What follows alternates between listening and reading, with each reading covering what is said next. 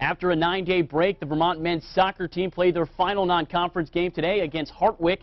65th minute off a throw-in, senior captain Sal Barea rises up for the header. Must be nice to be six foot four. He nets his third goal of the season, all of which coming off set pieces or throw-ins. That would prove to be the game winner thanks to a six-save performance from Connor Leland. Vermont improves to 6-1 and 2 on the season.